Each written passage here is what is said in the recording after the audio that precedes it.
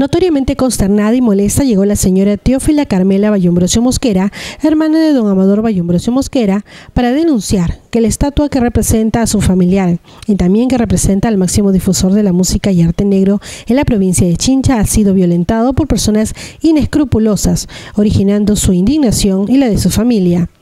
La señora Teófila Carmela Bayombrosio invocó a las autoridades provinciales a apoyar en el mantenimiento de dicho monumento, que ha sido violentado por personas que no tienen cultura ni respeto por los representantes de la música negra.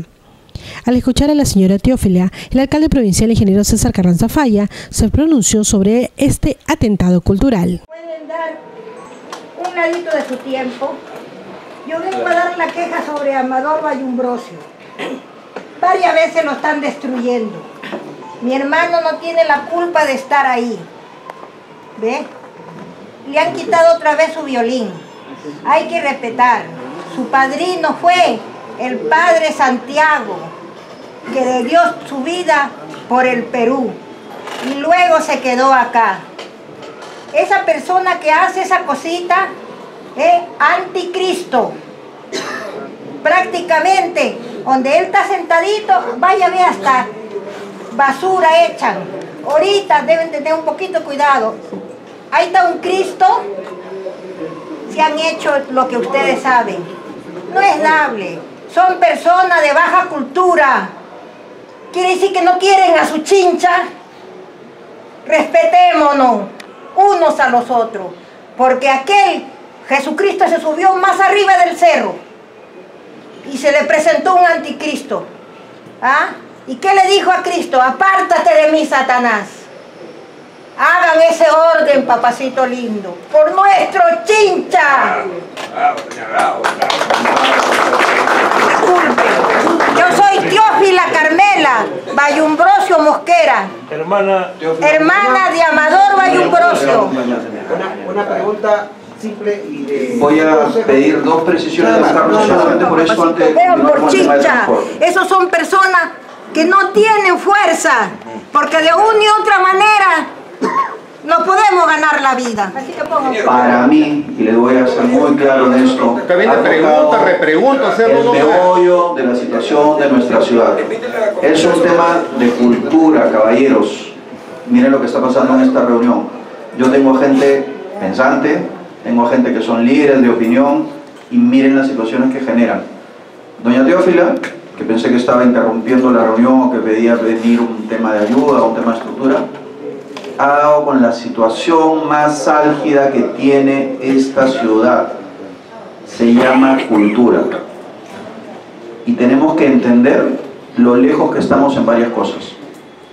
Yo al margen de todas las situaciones que vivimos en estos días, en el tema del Mundial, yo estoy grabado con una imagen del partido entre Japón y Colombia.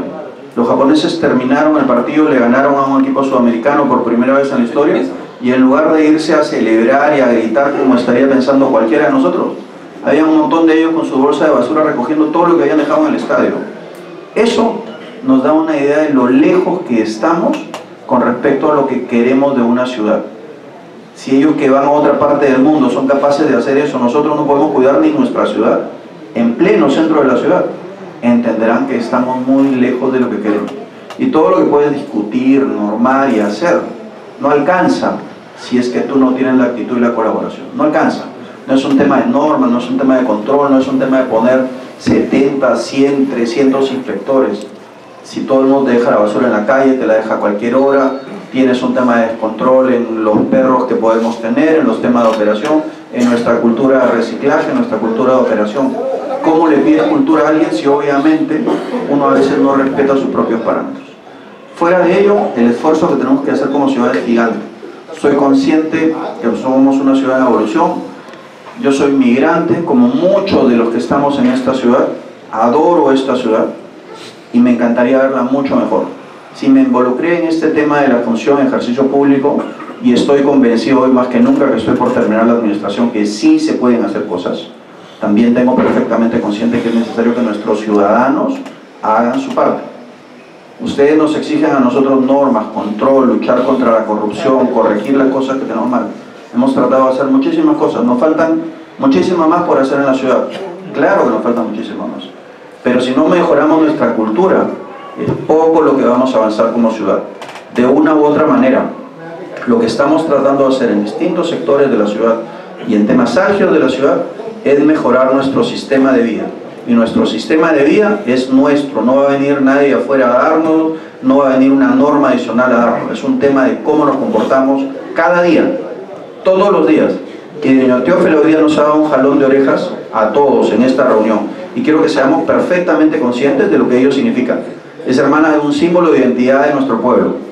Y si no respetamos ni siquiera ello, entenderán lo lejos que estamos en nuestra cultura. Estamos por celebrar 150 años. Yo estoy expectante y orgulloso de tener una fecha tan simbólica para todos nosotros los chinchanos para celebrar.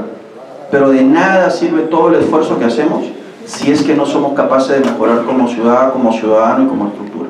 De nada sirve.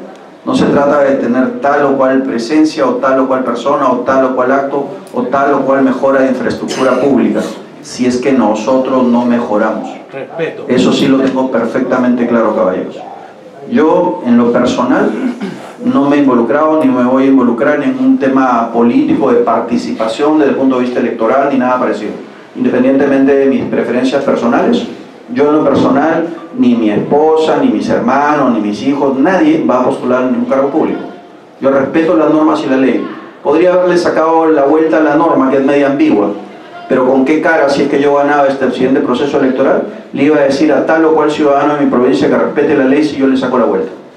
¿Con qué cara? Primero los respetos, caballeros. Y si ponemos normas, si ponemos parámetros, así no me gusten, tenemos que respetarlas. Y hay cosas de ciudadanía elementales en esta ciudad que tenemos que respetar. Si botamos la basura a cualquier hora, si vamos por un auto y tiramos desperdicios a cualquier hora, ¿quién creen que lo recoge? ¿Quién creen que está? Yo escucho las quejas de muchas veces que nuestros canales se salen las aguas en verano en tema de estructuras. Hemos llegado a recoger colchones, hemos llegado a recoger sillones de los canales. ¿Es eso justo, caballeros? Eso es un tema de absoluta cultura, de negligencia, de no pensar en nuestro vecino, de no pensar en qué ocurre más allá. ¿Tienen idea cómo están nuestros campos que están pegados al mar? Están llenos de desperdicios de bolsas de plástico, de desperdicios de metal. Eso no puede estar ocurriendo en nivel de país en el que queremos evolucionar. Todos estamos orgullosos, seguimos construyendo nuestra ciudadanía. Los cocineros hace unos años trabajaron por nuestra identidad más que cualquiera. Nuestros futbolistas ahora nos hacen sentir más orgullosos. Pero todos nosotros nos vamos a sentir mucho mejor si respetamos al otro. Es todo lo que tenemos que hacer, respetar al otro, nada más. El problema es que estamos pensando en uno mismo mi derecho, mi tema, mi tema individual, lo que yo necesito, lo que yo consigo. No se trata de eso. Hay que pensar un poco en el otro. Si no logramos hacer eso, si no te pones en el lugar del otro, si no piensas en cómo está el otro, evidentemente no vamos a evolucionar como sociedad. Seguimos construyendo una ciudad en que los pasajes se siguen reduciendo, que las estructuras se siguen reduciendo, en que el transportista sigue ocupando la vía, en que el comerciante sigue ocupando la vía, porque el otro lo hace. Pero si tú no lo haces, el otro tampoco lo va a hacer. Es un tema así de elemental. Y ese respeto no lo estamos teniendo con la ciudad. Y después obviamente le van a exigir a quien esté aquí de alcalde de turno, independientemente de quién sea, que solucione absolutamente todo. Eso yo lo puedo entender. Pero de una u otra manera también tenemos que entender nosotros los ciudadanos que tenemos que actuar en consecuencia con lo que queremos, con lo que exigimos, con lo que exigimos. Porque nosotros los ciudadanos exigimos y con razón, pero también hay que ver qué cosa estamos haciendo.